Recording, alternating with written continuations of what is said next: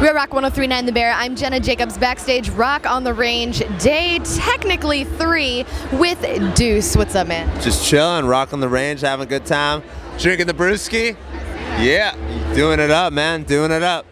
All right, well, it looks like you're having a good time. That's amazing. So, you have the record out, Nine Lives. We've been spinning America. I mean, the requests for that song were insane. When writing your record with, you know, your solo stuff, uh, what was the method kind of behind the the writing process? The groove behind your record's just insane.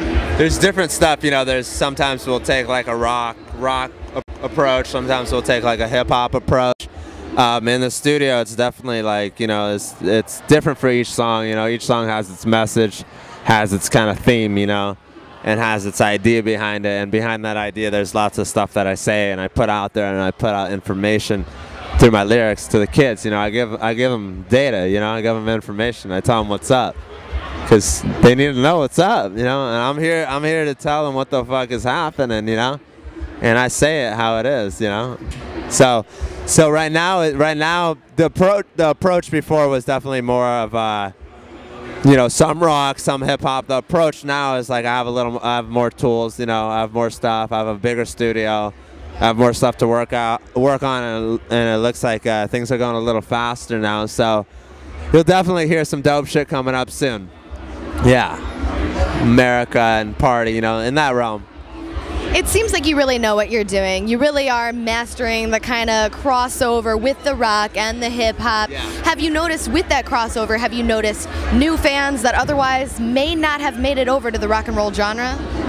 Yeah, I mean, there's a lot of kids that listen to hip hop, there's a lot of kids that listen to rock, and I think, you know, my world is like, you know, because, you know, you get better at your craft, you know, and I'm definitely better at it you know, knowing what I do and being better at it. But yeah, there's definitely a lot of kids who listen to like Yelawolf and MGK, but then they're not fully into rock. But then there's a lot of rock kids that don't listen to that stuff. So it's like I'm kind of in the middle, you know, where you get the rock, you get the live drums and the guitars, and then you kind of get that feel, you know, where it's like, because I'm not just a rock singer, you know, I don't just rock sing. You know, my lyrics aren't really like abstract or vague. You know, I'm very direct. Sometimes they are, but not really. You know, I'm pretty. I'm, I'm, I'm a down to earth person.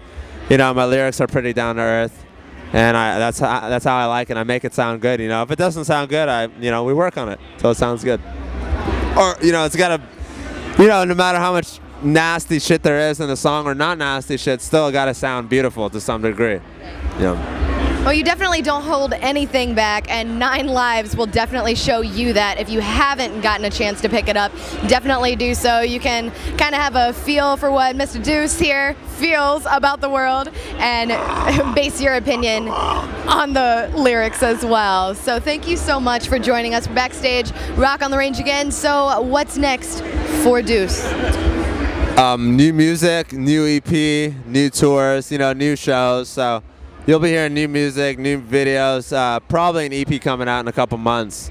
So we're in the we're in the making right now. You know, we're in the studio. We were in the studio this last week before we came here, and we're gonna go straight back over there. So you want to talk to me? Tweet me, Facebook me. You know where I'm at. Big Deuce. Again, Deuce backstage, Rock on the Range for 1039 The Bear. I'm Jena.